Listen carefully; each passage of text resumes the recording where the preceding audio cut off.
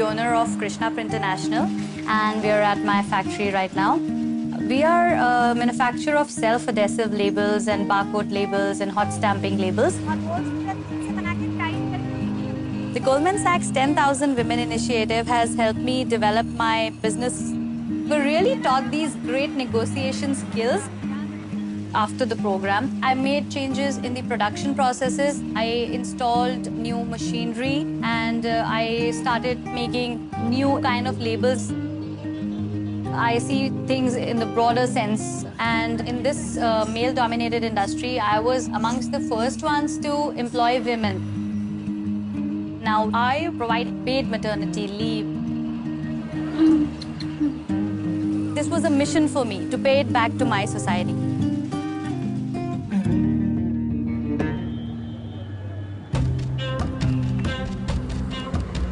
Christine and I run a cosmetology school. We teach the girls how to braid, we teach them how to weave and how to relax hair. Goldman Sachs 10,000 Women program taught me how to keep my books, to have a bank account for my business. Liberia is a country that has been badly affected by civil war. After the war, I just returned home so I could be useful to my country. Women tell me I don't have the money to pay for school. So I say I train you for free. Within a year's time, I've helped a lot of girls. The Goldman Sachs 10,000 Women Project is training young women. They're going to be the beginnings of the growth of our private sector. As they say, when you educate a girl, you educate a nation.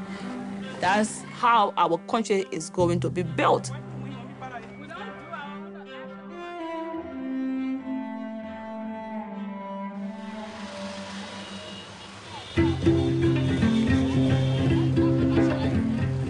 A catering outfit known as No Leftovers in Nigeria.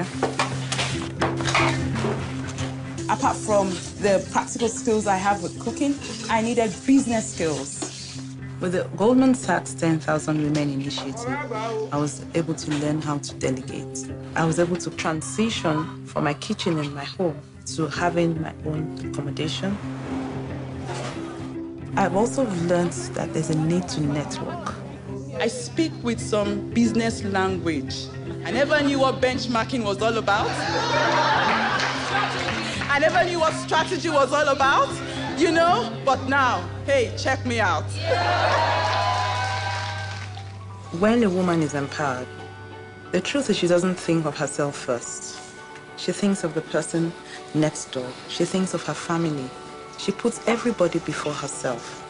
And you can imagine if everybody has that mindset, you can just imagine what the world would be like.